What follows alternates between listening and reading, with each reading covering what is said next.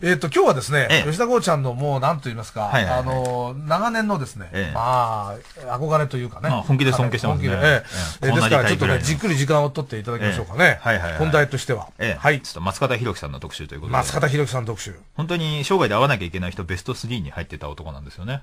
あとの二つは聞いていいの？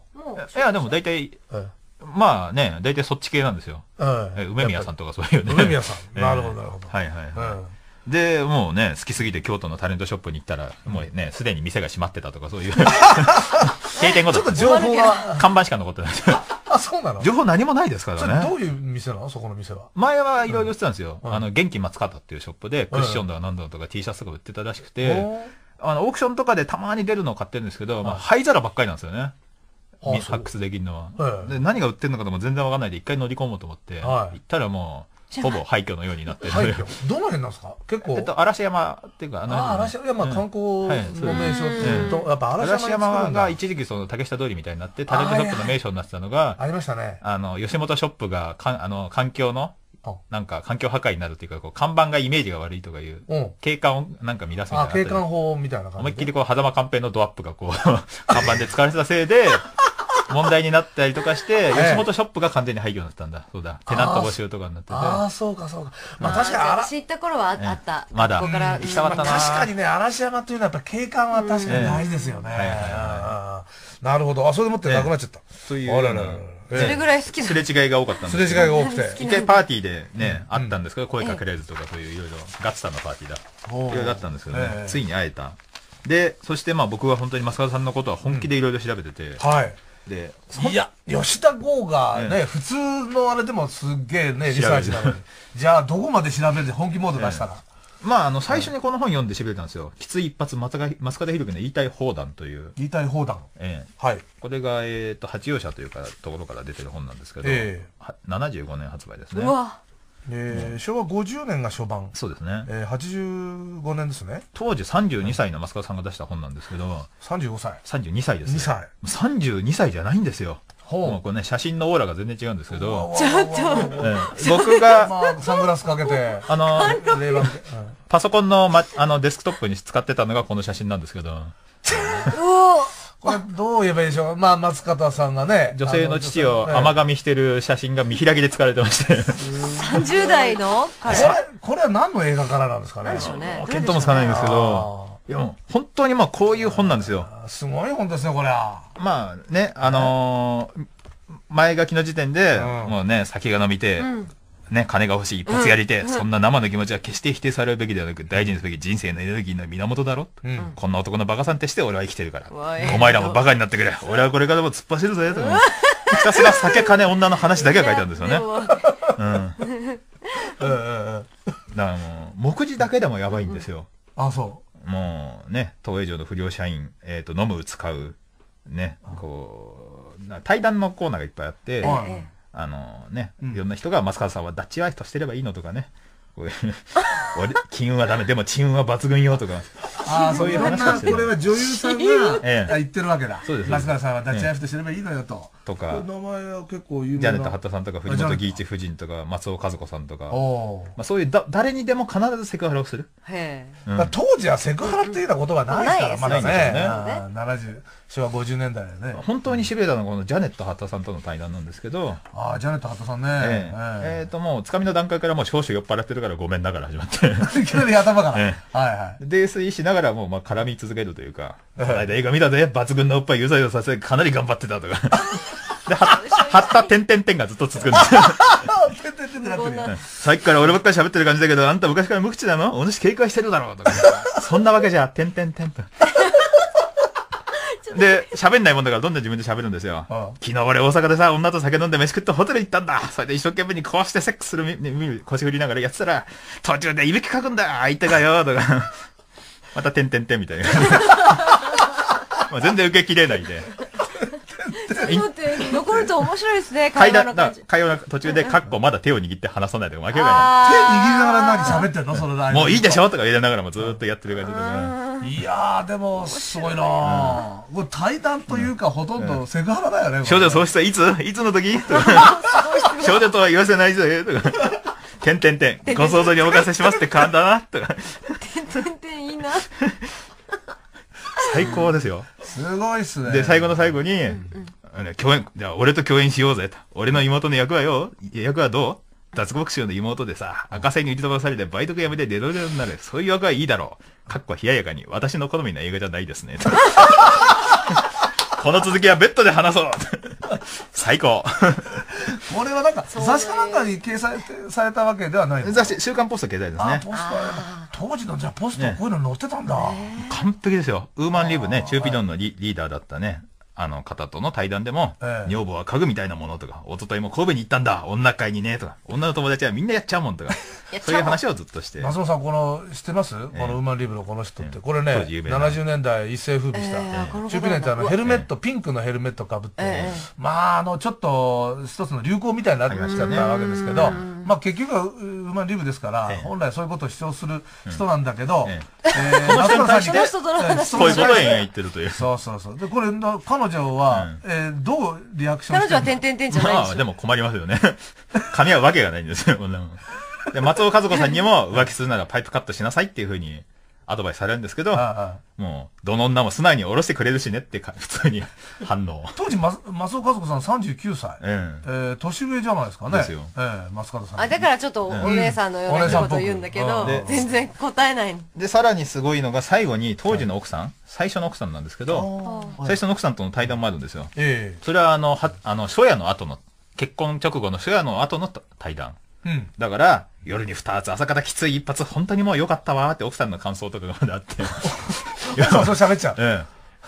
あの夕べの初夜がどうだったかを延々語るっていう。二人で。うん。あ今ないですよね。ありえないちょっと、ありえないよちょっと。で、お父さんの目黒祐樹さんの、うんあの、ええコメントも出てるんですけど、うんあの、お父さんが、まあね、その、今で言うとこのソープランドでの、ね、兄貴との交流、忘年会の招待状が来て、全員裸で遊んだりとか、乱交もしたとか、お父さんがそういうコメントをしてたりとかも、ありえない。本当。え最初の奥さんはこれ、えっと、目黒夏子さん。夏子さん。だっていう方。はいはいはい。この方女優かなんかなんですか？えーっと、だったのかなええはいはいはい。うん。いや、素晴らしい。怖いことですよね。ええへ今の芸能界でちょっと、そういう夫婦いない。あいないし、これが活字になることもありえないし、活字になること本になることもありえない。すごいですね。素晴らしい時代だったとしか言えないんですけど、すごい本だ、それは。え時代も時代ですけどね。これが80年ぐらいになっちゃうと、松方弘樹の泣いた笑っためちゃくちゃ愛したという、なんか急に柔らかいタイトルが。柔らかいんですよ。元気が出るテレビ時代ですね。元気が出るテレビ時代で、いいろいろハンカチ、ハンカチ出して、涙拭いたりし始めた頃ですね。全く違う本になってます、この頃は。いやー、えー本当だ。顔の感じがし、なんかいいおじさんっていう感じですよね。下ネタはほとんどなくなってますね。ああ、1989年に出てる。ほとんどが釣りの話です。あ、あ、ここから、こ ええこから釣り入ります、入りますか。ええ、サオシ違いになってるというね。でもやっぱり、ややっぱり変わってないのが、釣りしてても、あの、どっかのダムで変死者に間違えられたりとか、あの、釣りの最中に興奮してくると体が体が燃えて熱くなるのが私の癖で、うん。多くの釣り人がいたにもかかわらず、着ているシャツも脱ぎ、最後はパンツ1枚にとか、あ、そこまで。うん。パンパンツ一枚になってどうするの？釣りまあ、するんですか？釣りするっていうね。あんまり変わってはいないんだろうけれども、やっぱり下ネタが使えなくなってる。その辺の謎がだんだん解けてくるのが、はい。池袋仁義なき戦いロマンアルバムっていう徳間商店から出した本で、ええ。松方さんの原稿を書いたんですよ。まあ、この辺の本からの話を使っておはいはい、仁義話も合わせえてっていう。ええで、あの、事務所の原稿チェックを出したら、あの、下ネタ全 NG になって、急遽そっちの本から釣りの話とかを急遽復活させて。えあ事務所から NG え、が？NG が出てるということがありまして、えええ本人が変わったわけではないってことですよね？え。で、今回あ、はいはいああった、あって話してみて思ったのが、今回、今回あって。ついにあったんですよ。ついにエンタクシーという雑誌で。えー、エンタクシーで月あ刊誌ですよね。まあ文芸誌。ええ月刊じゃないです、の最新号11月号はいはいはいのために。ええはい。取材させていただいて、うん松方さんは変わってないです。あ。びっくりするぐらいに。え、じゃあこの、うん。50年代の。きつ一発の頃かきつ一発のら頃から、イズムは分かってないですね。今はそういうのはやらなくなってるけれども、うん平気で昔のそういう話はしてくれる。まあ、下ネタ黒い話を山ほどしてくれて、あそう感動したんですよ。あこの人は完璧だっていうあ。ぐらいに。はいはいはいはい。と思ったんですけど、あの、はいはい諸事情によりほとんどそういうのが使えなくなりまして。あ、あ、つまりインタビューではそういう話が出てて、えええええええー語ったことを今度、えー文字にしようとしたら、ええ、諸事情により。ええ諸事情によりええ。あの、まあ、映画の話のみになってますね。映画とお酒。ああ、なるほど。今はちょっと女子話では使えない時代になっているという。そういうことですよねまあ。それはやっぱり、厳しいですねなるほどね。残念ながら。いやいやえ、でも会えてよかった。うん。会えてよかった会えてよかったですよどのぐらい時間話聞いたんで1すか？時間半ぐらいですかね。おー、そんなに？うん。いや、ほんと惚れますよ。時間かっこいい。取ってくれるね。んうんどんな感じですか、今は？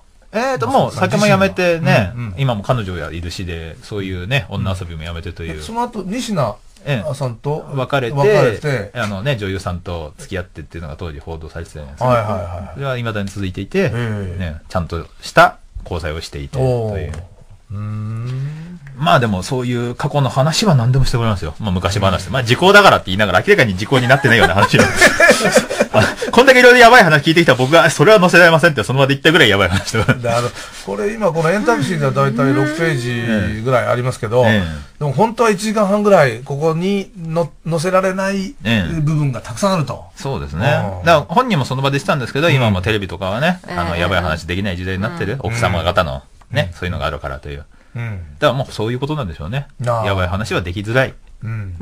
だ逆に、でもその、最初のこの、きつい一発ぐらいのええ、ここまで行くのは、ちょっとやっぱりインパクトは強すぎるけどええ、多少それを、んインパクトを弱めてええ言うというのもダメなのね。それはほ難しいんでしょうね。本会に反することなのかな。山城慎吾さんとかは平気で喋るんですけどね。ああ、でもあんまり山城慎吾さん最近テレビではあんま、ね体調不良ですからね。ああ、そうなんだ。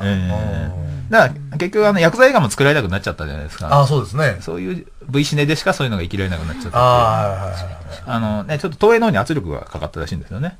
実は。え、え、ど、どっかいや、警察の方というか。ああ、そうええなんだ。ええあの、そういうのを作るな、みたいな。ああ、そう。えへえ、やっぱかかるんだなそういう時。代なんですよ。あうんだからそういうね、薬剤映画も作れなくなっちゃったっていう。うんうんうんうんそれと下ネタに関してのええカット云々っていうのはまたでもちょっと違う。う んそうなんですけどね。警察の方から下ネタやるんだったら、あそれはまあ時代が厳しくなってきたのかな、ぐらい。でも、ゴーちゃんはこの頃の本が大好きなんだ。大好きで。いやー、そりゃそうだよね。うん誰でもでもなんか、誰でもって言ったらおかしいけども、そういうことある程度許される時だったけど、やっぱり松方さんはその中その中でもやっぱり抜きん出たというか。ですね。松方さんと山城新伍さんは本当に完成度が高い。あ、完成度が高い。そうね。二人がこのシリーズで本出してるんですよ。二人は全くこのノリです。延々ソープの話というか女の話。きつい一発と同じような。うんあでもね、あの、二人とも会いますけど、二人ともベースは変わってないです。ううんん。それは安心していいというか、ファンの方もね。うん松方さんは変わってないですよ。信じていいです。じゃあそのメディアがそのなんてこういった週刊誌とかそうじゃなくて、うん。他のなんかこう言えるようなメディアが出てきたら、うん。その本音がわかるかもしれないね。そうですよね。何か例えば、うん。ネットでのその対談とか、うん。どうなんですか？イベントとかだったら多分喋ってくれるあ、イベントはまあそうだよね。ね。ええ。完全オフレコな世界であればという。う。ん。いやーということでね、本当に、あの、この今月号のおエンタクシーの、はいはい。え11月号での、表紙も増門さんという。マスカドさんという、うんえーことなんですけども、ええやっぱりあの、絶対会わなきゃいけない人に会って変わってないのはいいんだけど、それが、あの、出てくるメディアが、うんあの、やっぱ限られてると。メディアななりなんなりいろいろと、うんねそれが一番諸事情が辛いところですよね。辛いですね、ええなんとかその辺を打破していきたいんですけど。ねえ。いやー難しいでしょうね、だからね。うん。いろいろその、お上からのあれもあるんですけど、おね。かなのか、事務所なのかという。あの、一部をここで、えコラムの花道で。